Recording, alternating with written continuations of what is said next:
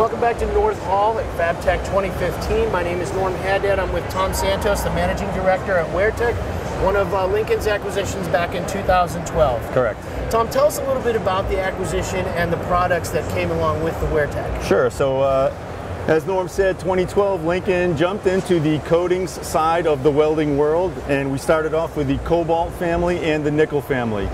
We have a foundry, so we pour our own metal and we create our own parts through four different casting technologies, and then we can final machine that to whatever customer specifications there are.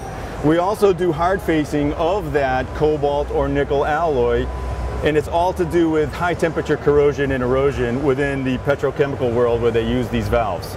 And now in 2014, Correct. there's a new integration, Yes. and that is NanoSteel. Correct. Tell us a little bit about NanoSteel. So NanoSteel stays in the same vein when we're talking about coatings technology. So you can get thermal spray or a weld overlay. Form doesn't matter to us. You can get it in powder form stick electrode. You can get cored wire.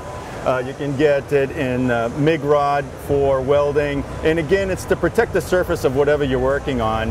Where there is uh, extreme abrasion or erosion taking place.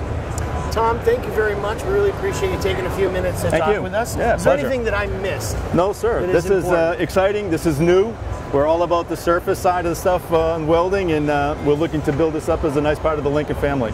Fantastic. Thanks for, for joining us. We'll be back in a little bit. Go to lincolnelectric.com for any more information.